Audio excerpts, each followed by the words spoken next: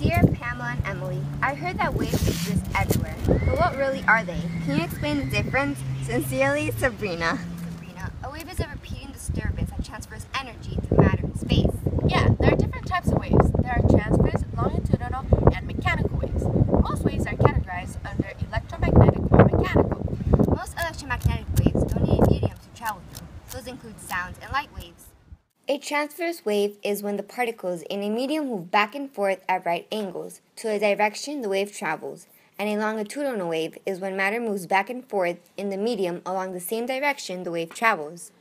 And a mechanical wave is a wave that can travel only through matter. An example of mechanical waves are seismic, sound, and ocean waves. A wave is made up of many parts. Two parts are the crest and the trough. The crest is the highest point of a wave, and the trough is the lowest point of the wave. When using a slinky, you can see the rarefaction and compression taking place. You probably don't know what those two words mean.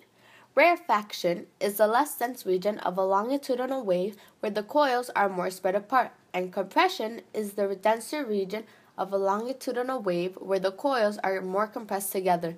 Of course, waves also have a way to measure their distance. You can measure the wavelength of a transverse wave from crest to crest or trough to trough. You can measure the wavelength of a longitudinal wave from compression to compression or rarefaction to rarefaction.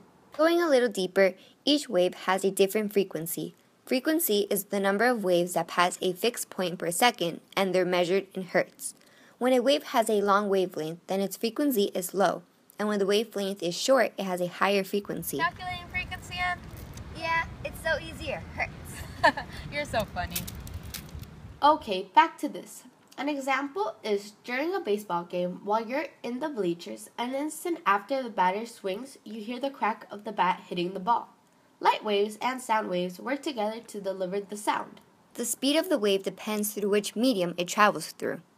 Along with traveling with matter, waves also reflect off surfaces. Reflection occurs when a wave strikes an object and bounces off it. Sound, water, and light waves can be reflected.